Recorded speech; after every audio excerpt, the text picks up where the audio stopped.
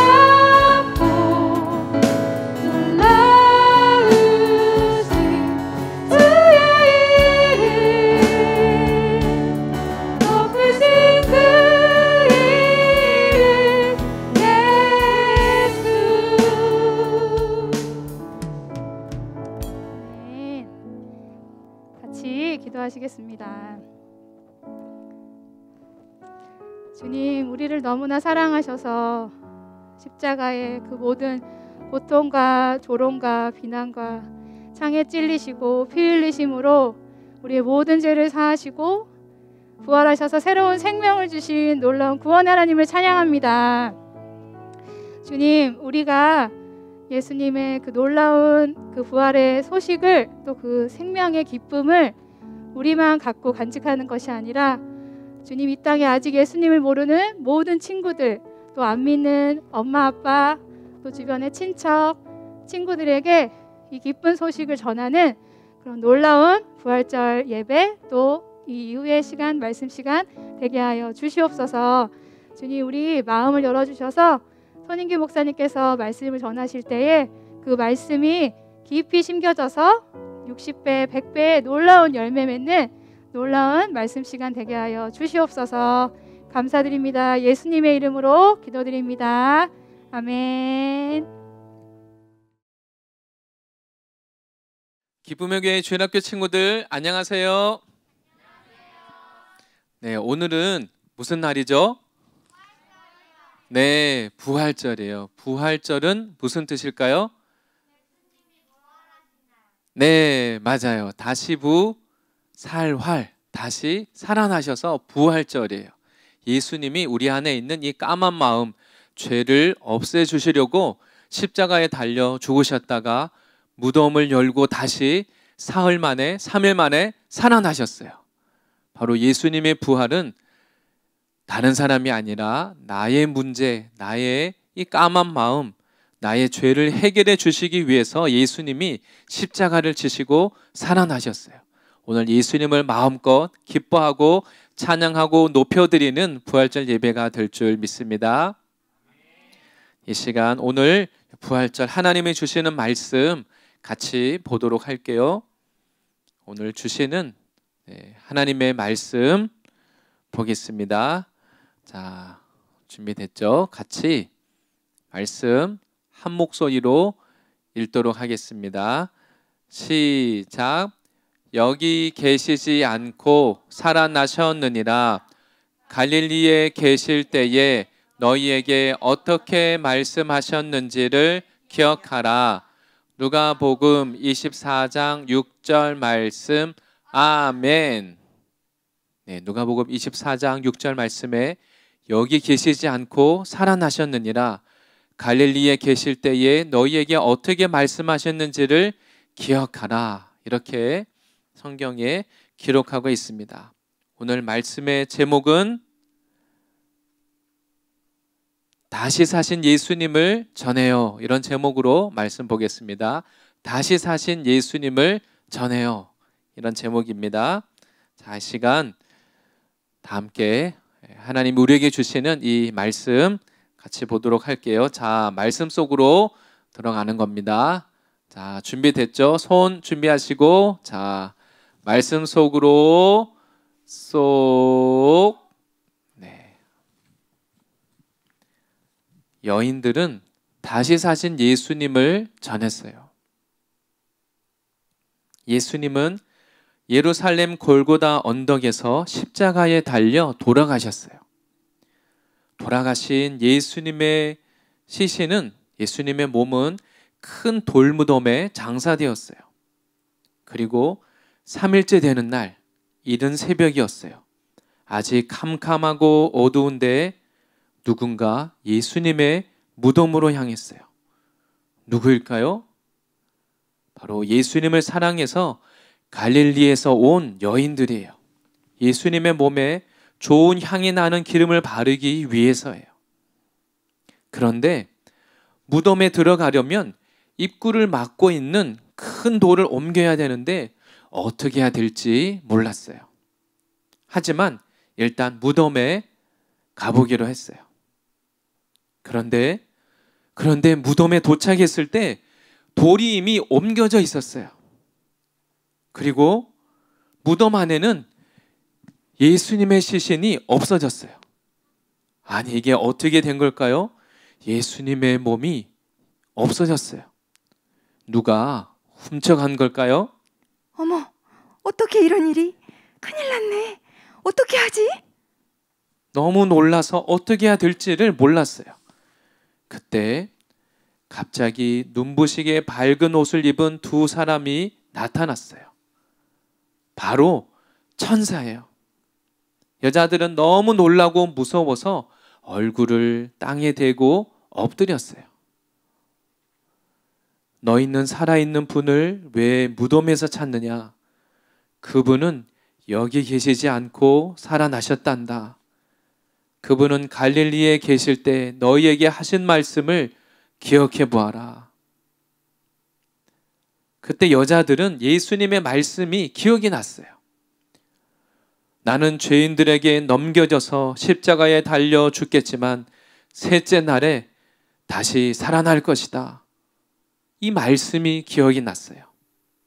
그리고 여인들은 예수님이 말씀하신 그대로 다시 살아나신 것을 믿었어요.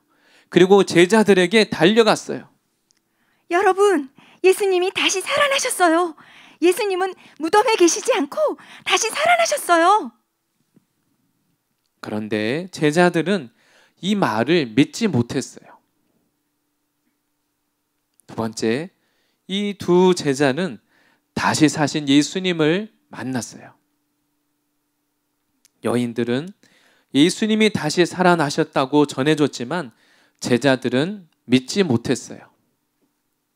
제자들 중에 두 사람은 예루살렘에서부터 11km 떨어진 걸어서 두세 시간 걸리는 그들의 집 바로 엠마우로 다시 돌아가기로 했어요.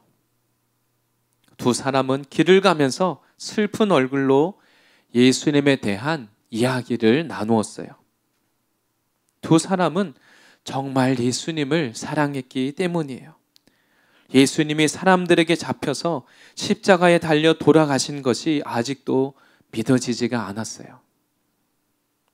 그런데 갑자기 웬 낯선 사람이 두 사람의 곁에 다가와서 말을 걸었어요. 예수님이었어요. 하지만 두 사람은 그분이 예수님이라는 것을 알아차리지 못했어요. 예수님이 두 사람에게 물으셨어요. 길을 가면서 무슨 대화를 그렇게 나누고 있습니까? 무슨 놀라운 소식이라도 있습니까? 아니, 당신은 예루살렘에서 지난 며칠 동안 이런 일을 모른단 말입니까? 나사렛 예수에 대해서 못 들어보셨나요? 제자들은 예수님께 설명하기 시작했어요. 나사렛 예수님은 우리의 주님이세요. 그분은 하나님의 말씀을 전해주시고 하나님의 능력을 보여주셨어요. 우리는 그분이 우리의 구원자라고 믿었어요. 그런데 대제사장과 지도자들이 그분을 나쁜 사람으로 몰아서 십자가에 못 박았어요. 오늘이 바로 그분이 돌아가신 지 3일째 되는 날이에요. 예수님은 분명히 돌아가셨어요. 그런데 오늘 새벽 무덤에 간 여인들은 예수님의 시체가 사라졌다고 했어요. 그리고 예수님은 다시 살아나셨다고 했어요. 그런데 저희는 아직 그분을 만나지는 못했어요. 그러자 예수님이 제자들에게 말씀하셨어요. 그러면 아직 보지 못해서 못 믿겠다는 겁니까? 그게 아니라 선지자들이 말한 것을 믿지 않는군요. 왜 그분이 다시 사신 것을 믿지 못합니까? 예수님은 성경에 기록된 내용들을 자세히 설명해 주셨어요. 그리고 하나님의 복을 받고 영광을 얻으려면 먼저 어려움을 통과하고 이겨야 된다는 것을 말씀해 주셨어요. 어느덧 날이 어두워지기 시작했어요. 제자들은 그들이 잠을 잘 곳에 예수님도 같이 가자고 예수님을 붙잡았어요.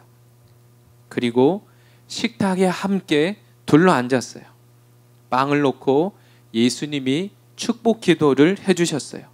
그리고 이 빵을 떼어서 두 사람에게 나눠 주셨어요. 그때서야 제자들은 이분이 바로 예수님이시라는 것을 알아차렸어요. 바로 그 순간 눈앞에서 예수님이 사라지셨어요. 제자들의 마음이 다시 뜨거워지고 새 힘을 얻었어요. 예수님, 예수님이 다시 사신 것을 믿지 못했던 것을 용서해 주세요. 이봐, 예수님은 다시 살아셔서 어서 예수님을 전하러 가세. 제자들은 그 자리에서 즉시 일어나 떠나온 예루살렘으로 돌아갔어요. 그리고 다른 제자들과 사람들에게 가서 예수님을 전했어요. 예수님이 다시 살아나셨어요. 우리가 부활하신 예수님을 만났어요. 자, 우리 친구들 예수님이 십자가에 달려 돌아가셨을 때 예수님의 제자들과 그리고 예수님을 사랑하는 여인들은 너무나 슬퍼했어요. 그러나 예수님은 예수님이 미리 말씀하신 그대로 다시 살아나셨어요. 무덤에 찾아간 여인들에게는 예수님의 천사를 통해서 말씀해 주시고 또 예수님을 예수님이 다시 사신 것을 믿지 못해서 다시 고향으로 집으로 엠마오로 돌아가는 그 제자들에게는 예수님이 다시 찾아가서 말씀을 설명해 주셨어요. 예수님의 부활하신 예수님을 만난 제자들과 여인들은 이 다시 사신 예수님을 사람들에게 전해줘서 오늘날 지금 친구들에게 그리고 우리 모두에게 이 예수님이 다시 살아났다는 이 소식이 오늘날까지 우리들에게 전해질 수 있었던 겁니다. 우리 친구들, 예수님이 바로 내 안에 있는 이 까만 마음, 우리의 이 죄를 해결해 주시기 위해서 십자가를 지셨고 3일 만에 죽음을 이기시고 다시 살아나셨어요. 예수님은 이 땅에 가장 강한 것, 아무도 이길 수 없는 이 죽음을 이기신 분이세요. 여러분, 예수님이 내 안에 계시면 우리도 죽음을 이기고 다시 살아날 것을 우리 친구들 믿으시기를 바랍니다. 나를 위해서 다시 살아나신 이 예수님을 전할 수 있는 우리 주일학교 친구들이 되기를 바랍니다. 나의 부모님과 나의 친구들, 내 안에 계시는 죽음을 이기시고 부활하신 이 예수님을 우리 친구들, 내가 아무리 힘들고 어려워도 죽음을 이기신 그 예수님은 모든 것을 다 이기실 수가 있어요. 성경 속에 나오는 그 예수님이 아니라 그 예수님이 나와 함께 하시고 내 안에 계시고 날마다 우리를 돌보고 계시는 것을 우리 친구들 믿으시기를 바랍니다. 이 좋으신 예수님을 전하는 우리 기쁨의 교회 주일학교 친구들 되기를 바랍니다. 이 시간 함께 기도하겠습니다. 제가 기도하겠습니다. 우리 안에 있는 모든 죄를 위해서 십자가 지신 예수님 감사합니다. 예수님이 내 안에 있는 이 까만 마음, 나쁜 생각, 내가 마음에 품고 있는 나쁜 것, 나의 게으름, 내 안에 있는 이 어두운 마음, 이것을 위해서 십자가에 죽으셨다가 예수님이 그 무덤에 들어가시고 사흘 만에 나에게 이 생명을 주시기 위해서 다시 부활하신 것 예수님 감사합니다. 오늘 이 말씀을 듣는 모든 주일학교 친구들에게 하나님 이 예수님 때문에 나도 죽음을 이기고 우리가 내가 죽음을 이기고 승리할 수 있다는 것을 믿게 해주시고 이 예수님을 전하는 주일학교 친구들이 되게 해주세요. 예수님이 다른 사람이 아니라 바로 나의 문제, 나를 위해서 십자가 지셨고 나를 위해서 부활하신 것을 믿고 어떤 힘들고 어려운 것이라 할지라도 예수님이 함께 하시면 이길 수 있는 것을 믿습니다. 하나님 우리 모든 주일학교 친구들에게 이러한 믿음을 주시고 예수님 때문에 기뻐하는 이 놀라운 부활절이 되도록 축복해 주세요. 감사드리고 예수님의 이름으로 기도합니다. 아멘. 이 시간 함께 주기도문으로 예배 마치겠습니다. 같이 믿음으로 하나님 앞에 같이 믿음의 고백을 하는 겁니다. 시작. 하늘에 계신 우리 아버지, 아버지의 이름을 거룩하게 하시며 아버지의 나라가 오게 하시며 아버지의 뜻이 하늘에서와 같이 땅에서도 이루어지게 하소서. 오늘 우리에게 일용할 양식을 주시고 우리가 우리에게 잘못한 사람을 용서하여 준 것 같이 우리 죄를 용서하여 주시고 우리를 시험에 빠지지 않게 하시고 악에서 구하소서 나라와 권능과 영광이 영원히 아버지의 것입니다. 아멘. 우리 주일학교 친구들 다시 사신 예수님을 전하고 기뻐하는 친구들 될 줄 믿습니다. 안녕. 다음 시간에 만나요.